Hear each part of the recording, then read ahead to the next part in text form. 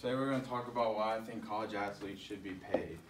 So as February draws to a close, uh, it's a pretty exciting time for college athletics and we're going to see lots of revenue generated with the start of college baseball season and signing day just happened. Everybody's really happy about the off season and the upcoming season itself with the new recruits coming in. And March is going to bring us March Madness, the biggest tournament in any college athletic setting. Now the problem with all this is schools are generating tons of money off of the fans that come in and spend money on merchandise, concessions, ticket sales, anything like that, and they have a very large profit margin uh, because it doesn't really cost them a whole lot to give each student free education. So the students are not, student athletes are not fairly compensated. I think we should implement a new format of rules that keeps the competitive balance in check and is, is still good for the league but it benefits both the student athlete and the school itself.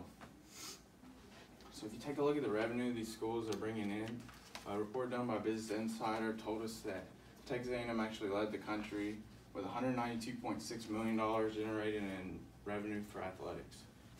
So they're bringing in tons of money and it's not really going back to the student athlete.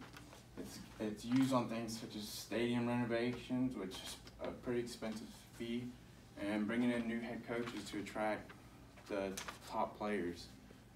And if you take a look at these coaching contracts, they're not cheap.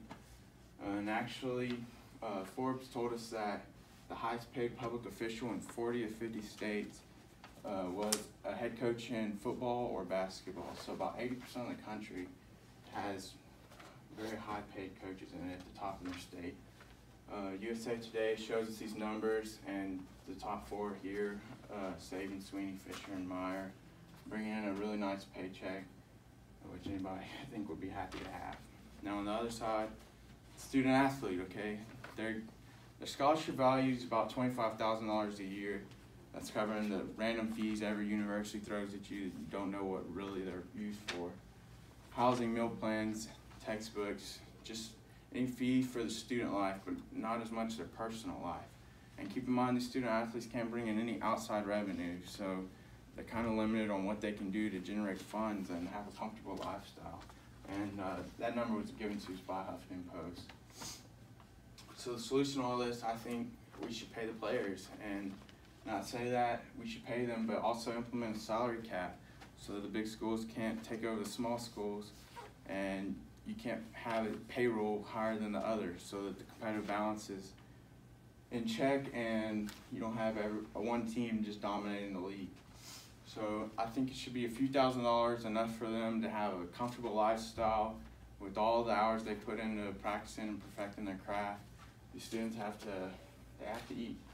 And I think you should save the million dollar deals for the pros. So give them a incentive that says, hey, maybe later on you get this million dollars, but for now, stay in school, we'll give you a little bit of money and perfect your craft so that you can eventually earn that money.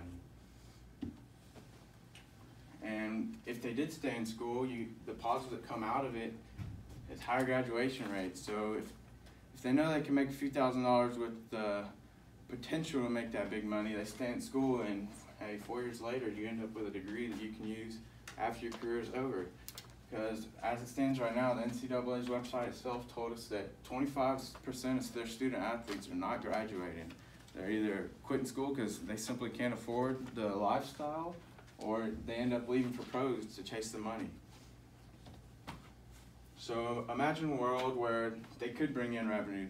These players could also maximize their profits off of the brand they've created, the persona they've created, that they're making so many fans on the field, now they can make money off their name. So you wouldn't see big NCAA scandals where hey, I'm selling my autographs for twenty dollars, just just so I can have a next meal. Uh, as it stands right now, people are getting busted for that, and it's, it's hurting their future. So we also talked about before uh, the guy that had the monetized YouTube account. NCAA gave him the ultimatum to either continue making his videos and uploading his content, or be an individual and athlete and he ended up choosing YouTube because he was making money and he was able to live that comfortable lifestyle, where on the other hand, he wasn't. And going back to the persona they build, they can have endorsement deals that also generate them funds and would allow them to build their brand for even beyond college and into the pros. So think about it some more, and I think that the evidence is definitely there that they should pay the players.